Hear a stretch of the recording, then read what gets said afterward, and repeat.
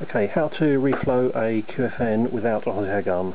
The key is to, on the underside of your PCB, put a hole in the solder resist um, under the QFN. Uh, if you forget, you can always scrape it off with a scalpel. First, plenty of flux. You can never have too much flux. The Pads. Then apply a nice bead of solder to all the pads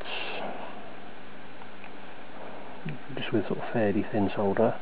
Of course not lead free solder. Lead free is just a pain. So just get enough to get a nice bead on all the pads.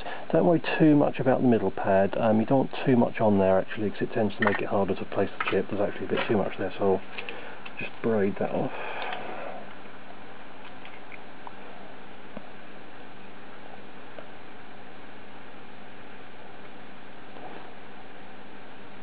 That's about right.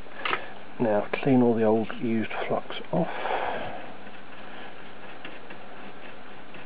A good old scrub. You can either blow dry or you can dab it with um, paper towel. And new flux on, again, plenty of flux. And take your chip making sure it's actually the right way around. You can't see it because there's solder paste all over it.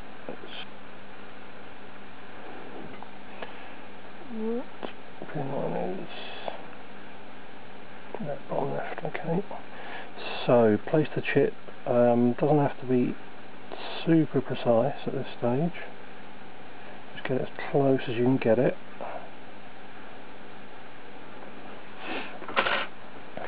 Then with a nice chunky big bit, preferably on a Metcal,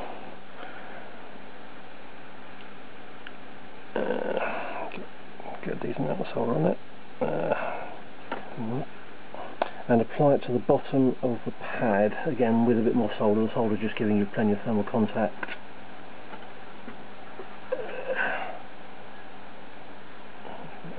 there.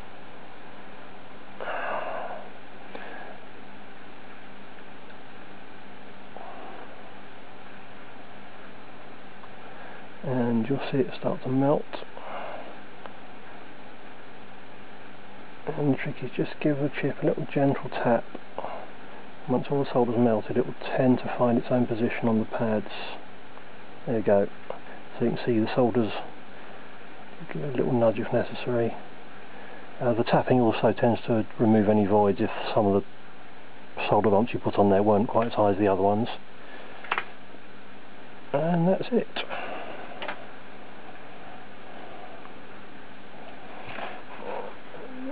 look at the sides.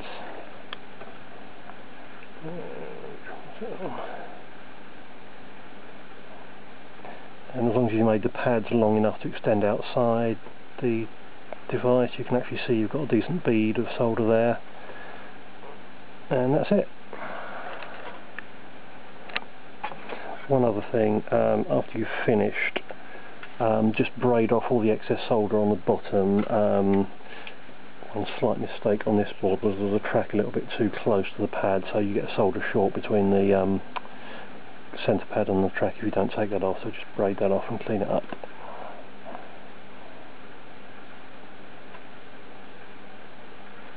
That's it.